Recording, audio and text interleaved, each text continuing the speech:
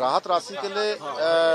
हमने अभी सभी श्रमिक भाइयों के लिए अपने उत्तराखंड राज्य की तरफ़ से एक एक लाख रुपए की जो है व्यवस्था की है। एक एक लाख रुपए की जो है कल हम उनको सभी को चेक सौंपेंगे और भी जो सहायता होगी वो करेंगे। और N H D C L जिसमें वो सभी लोग काम करते हैं, उनसे भी हम अनुरोध करेंगे कि उस हमारे इन श्रमिक भाइयों को जो इकतालीस हैं, उनको जो है कुछ दिनों के लिए पंद्रह दिन बीस दिन या एक महीने के लिए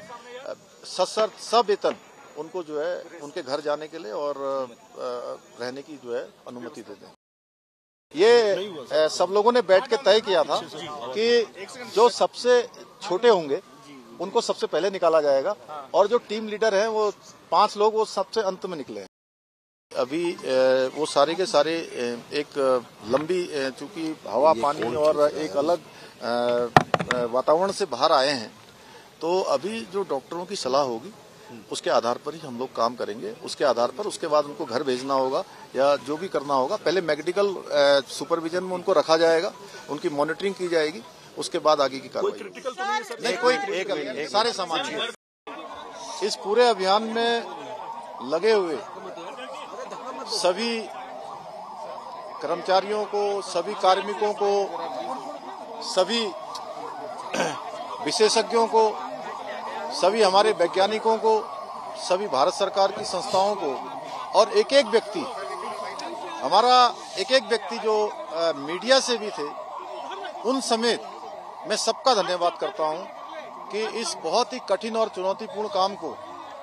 सभी लोगों ने अपना सहयोग प्रदान किया और बहुत चुनौतीपूर्ण काम होते हुए भी। प्रातःकाल और शाम दोनों टाइम हमारे प्रधानमंत्री आदरणीय मोदी जी लगातार इस रेस्क्यू अभियान की, हमसे सभी लोगों से लगातार जानकारी करते थे, लगातार अपना जो सहयोग देना था, जो उनका एक संबल था और उनका जो एक सहयोग और हम लोगों को जो भरोसा था और जो उन्होंने, मैं कहूँ व्यक्तिगत रूप से, उन्होंने मुझे एक काम भी दिया हुआ था, ये ड्यूटी दी थी कि किसी भी तरीके से इन सबको, सबका समन्वय करते हुए बाहर निकालना है। अगर आप ये वीडियो YouTube पर देख रहे हैं तो हमारे चैनल को सब्सक्राइब करें और बेल आइकन को दबाना ना भूलें। अगर आप Facebook पर यह वीडियो देख रहे हैं तो हमारे पेज को लाइक करें।